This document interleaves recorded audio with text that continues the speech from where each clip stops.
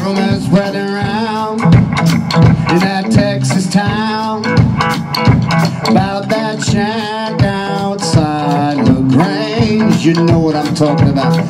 Mean